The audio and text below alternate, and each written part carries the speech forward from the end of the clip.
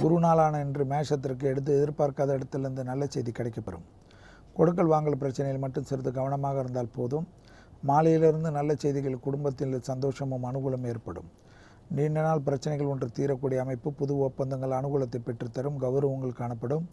சிலருக்கு விருதுகள் மனதிற்கு சந்தோஷத்தையும் ஆறுதலையும் ஏற்படுத்தி தரும். படைப்பாளிகளுக்கு தங்கள் தொட்டதெல்லாம் தொடங்கக்கூடிய காலகட்டம்.